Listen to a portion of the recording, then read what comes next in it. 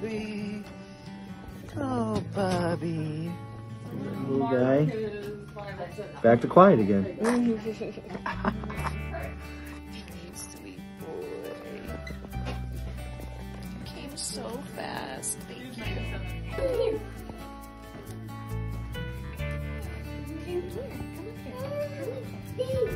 Baby.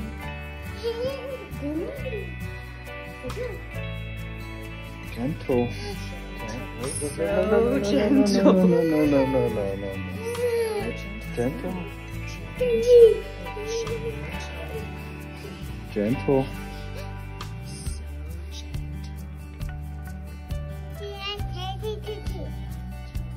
Gentle. Attention.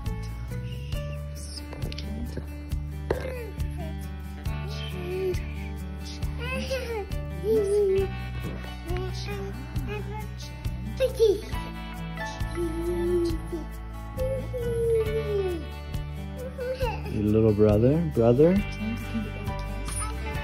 Can you give baby kiss? So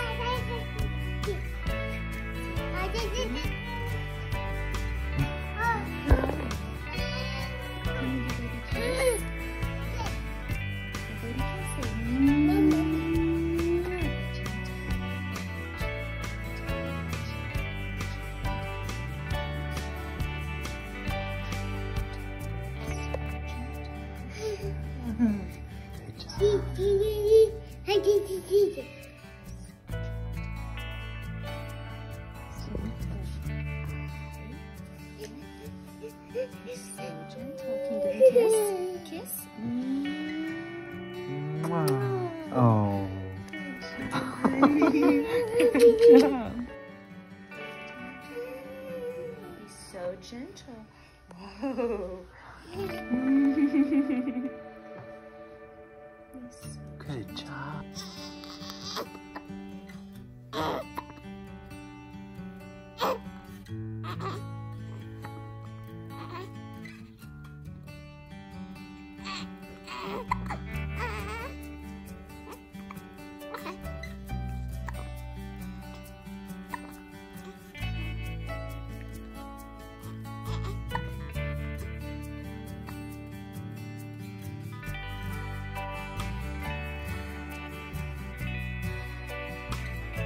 Hi guys, it's been a while since I picked up the camera, but I am back in action and I'm here today to share Noah's birth story.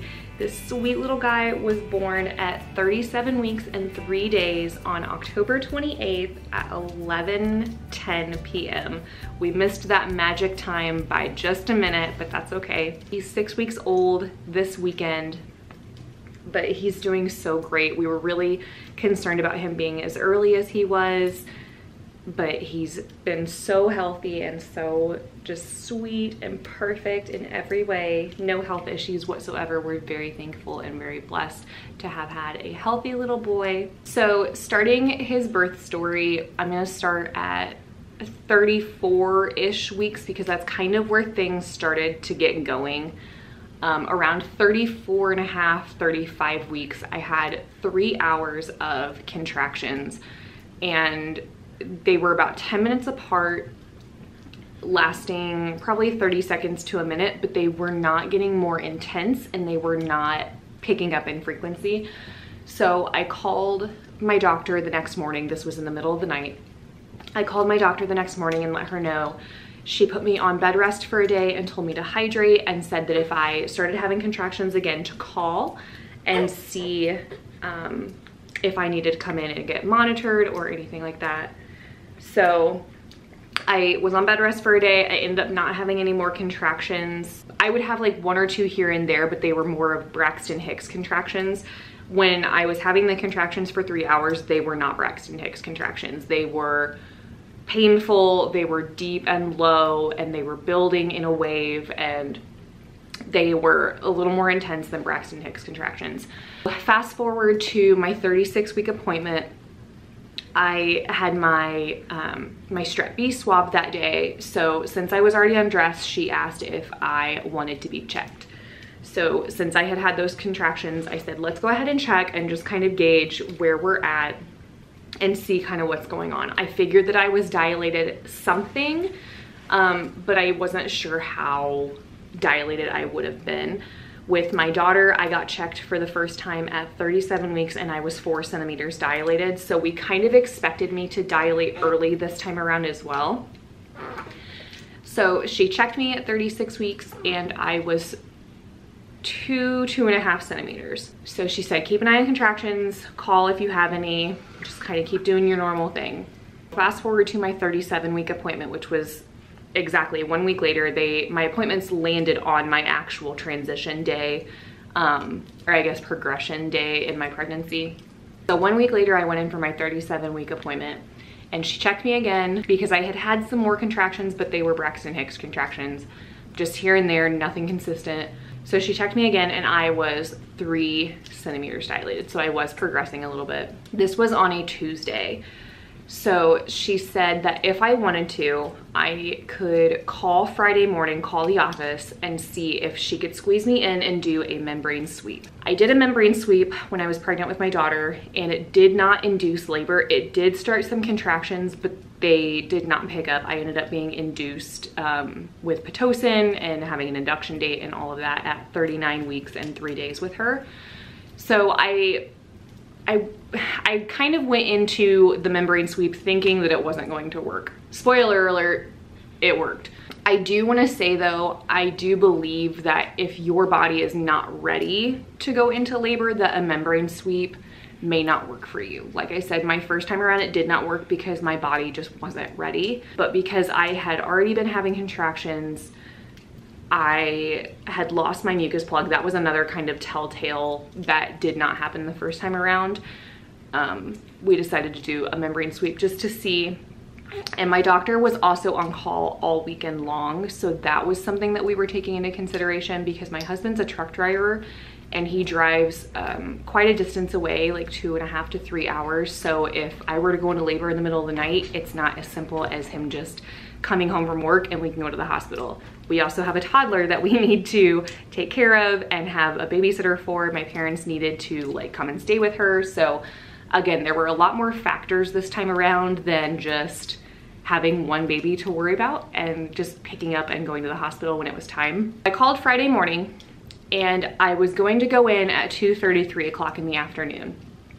Well, she ended up calling me around 9 or 10 in the morning and honey.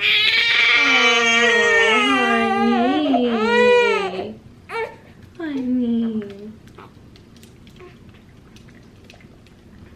Here we go. She ended up calling me back around 9 or 10 in the morning and moving my appointment to 11.45 because she had a surgery and she didn't think that she was going to make my appointment. I went in at 11.45, which is earlier than we were expecting, kind of caught me off guard, but I was excited, I was nervous. Again, I went into this not expecting the membrane sweep to work. So I go in, I think I ended up getting in office and getting my membrane stripped at noon. So she said, I'm on call all weekend. Hopefully I hear from you tonight, tomorrow. Just track any contractions that may start and call if they get consistent. They have like an on-call answering service. So it'll go through them, then they'll page the doctor and then the doctor would call you back. So I go home, I eat some lunch. I just try and relax, try and not stress about anything.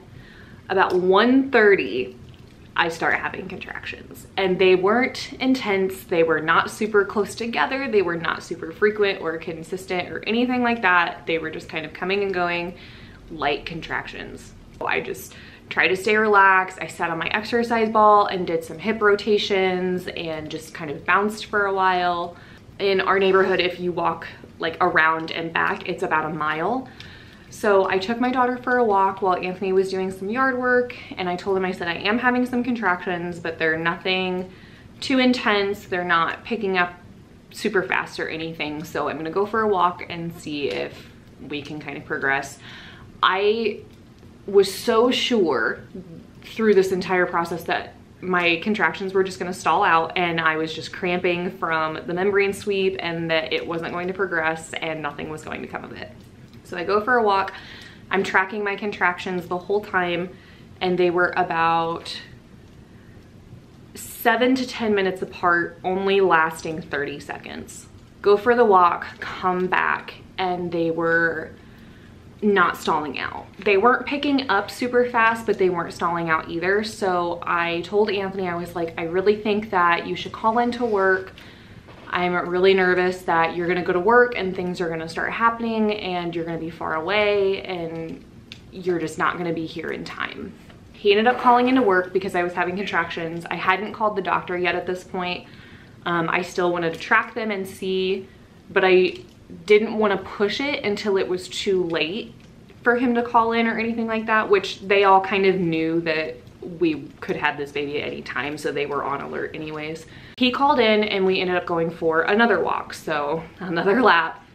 We got back from the walk around 4.30, probably 5 o'clock-ish, and I called, it was probably closer to 4.30. So I called the doctor when we got back from our walk and I spoke to the answering service, told them that I was having contractions, five minutes apart, lasting 30 seconds. And usually they say they need to be lasting a minute before you come in. But because this was my second baby and every labor is different, I wanted to call and be sure. If you're not sure, just call. The worst thing they're gonna tell you to do is labor at home or it's not time or just wait. And if they are kind of on that bridge, they might have you come in just to be monitored, which was kind of what I was thinking was going to happen because I was in denial that this was true labor. And so I called the doctor around 4.30. Around five o'clock, my contractions were picking up. I think it was 5.15. I hadn't heard back from the doctor yet, but I called my mom and said, that my contractions were picking up. They were now every three minutes lasting 45 to 50 seconds.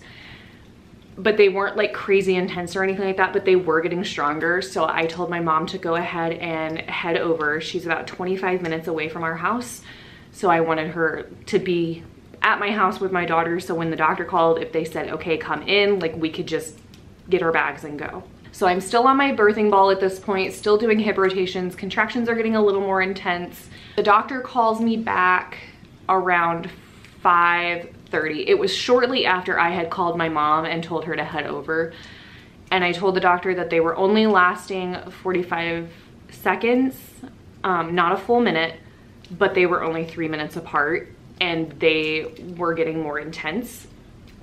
I remember Anthony telling me I was in the kitchen on my birthing ball at this point because Holley likes to climb on me with and I'm just rocking on my ball and I just was in that mindset of being uncomfortable and I was in true labor and at the time I did not think that I was.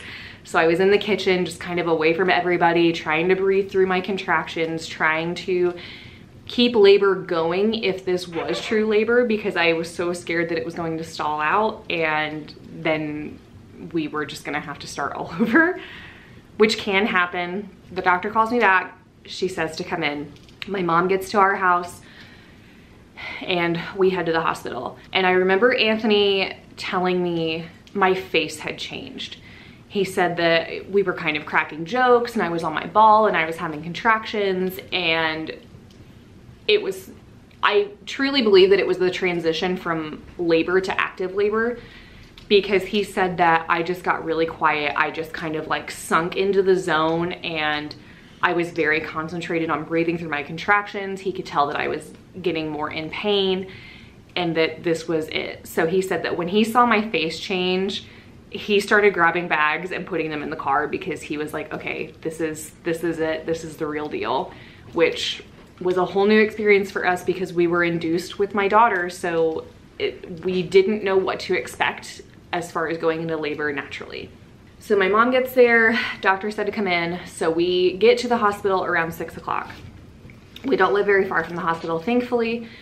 So we get to the hospital, we get put in a room, hooked up to monitors, all of that stuff, and they checked me and I was three centimeters at noon when I had my membrane stripped. I was six to six and a half centimeters at six o'clock when they checked me. So they said that they were going to admit me and we were going to have the baby, which was very exciting. Um, I still was just in shock when they said that they were admitting me. I thought for sure they were gonna hook me up and send me home. I just, something in my head just told me like, this is not real labor. And it's funny because yes, the contractions were painful, but they weren't unbearable. And it's, it's almost like you would think having a baby would hurt more. And given I was six centimeters, so I was like in the transition into active labor and they were very uncomfortable. But if I would have gone to 10 centimeters, yes, contractions get very painful and you can't talk through them or you have trouble breathing through them. But it, again, you just, you think having a baby would be more painful from the get-go, but it builds. So call before it's too late.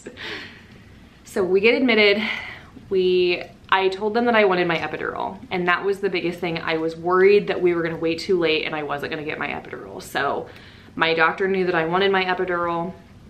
So we get admitted, we get through all the questionnaires and then you have to get your IV, they have to call down to anesthesia, they have to give you a whole bag of fluids before you can get your epidural and all the things.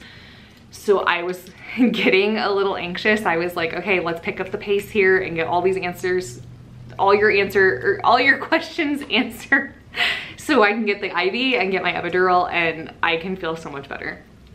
And at my hospital, the epidural is a drip, so you don't have to worry about getting it too early um, because it doesn't wear off. It's like a catheter um, set up in your back so it drips every 30 minutes and it's it's in as long as you need it in.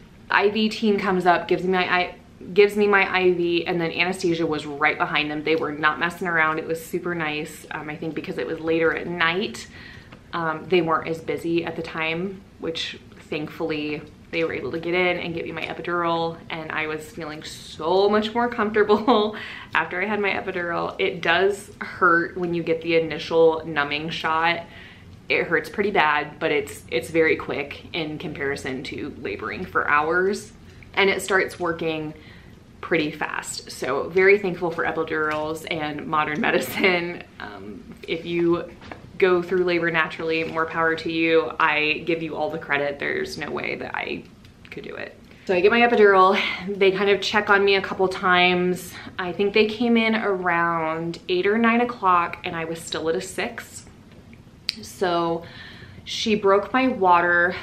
I don't remember what time she came in and broke my water. They came in around 10, 10.30ish to check me again they said when you start feeling, I think I was in at eight centimeters at that point, and they said when you start feeling pressure in your bottom, let us know. They put the peanut ball between my legs and they were like, just labor for a while, like let us know when you start to feel things change.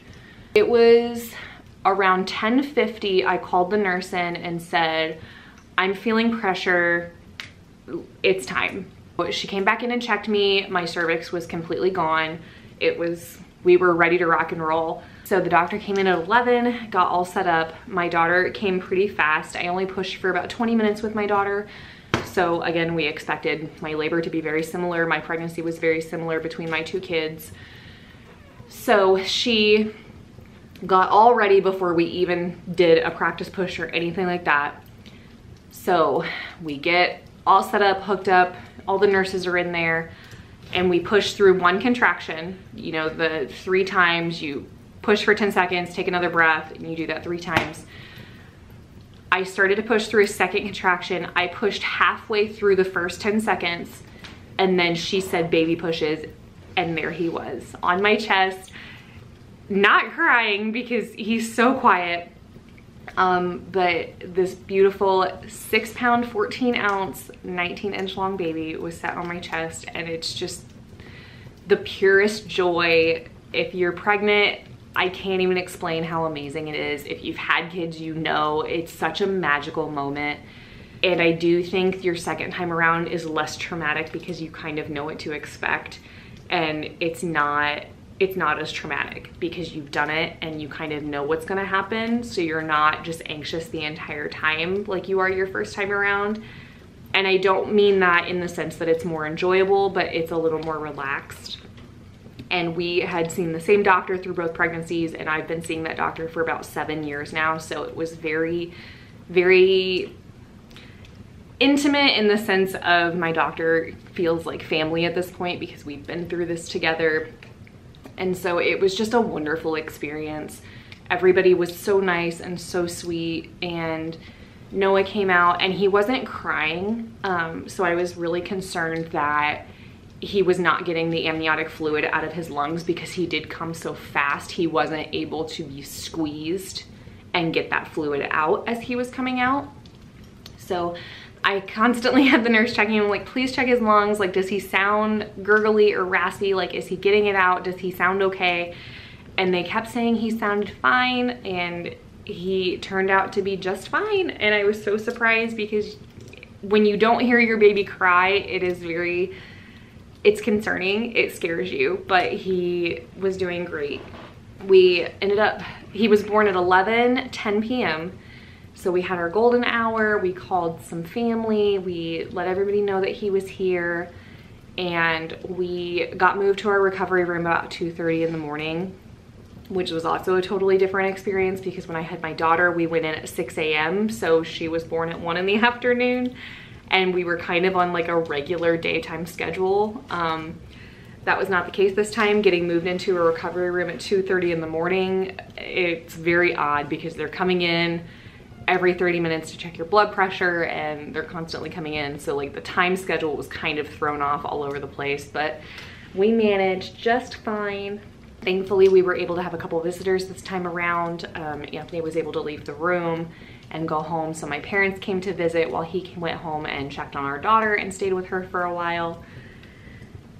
And we just had a great experience. We got to go home Sunday morning, which was insane. We weren't even there 48 hours, which was very crazy. I thought we were gonna have to stay two nights. And I mean, I guess we kind of did, but um, there are certain tests that they have to be like a certain amount of hours old before they do them. So we had to wait for that. But after that, we were able to go home pretty quickly. So we got to bring him home and he got to meet his big sister who absolutely loves him. She's doing so good with him she kind of doesn't care about him. She just does her own thing as she's always done and she'll come over and she'll pet his head and but she hasn't been super jealous or anything like that. So we're very, very thankful for our healthy babies and our little family has grown and we are just soaking in every little bit of newborn snuggles that we can. He's been so awesome. And we are just enjoying life you are just so sweet little guy. So welcome to the world, baby Noah. We are so excited that you're here and we love you so, so much. And, and we are just over the moon that you have completed our little family. Thank you guys so much for watching and I'll see you in my next video real soon. Bye.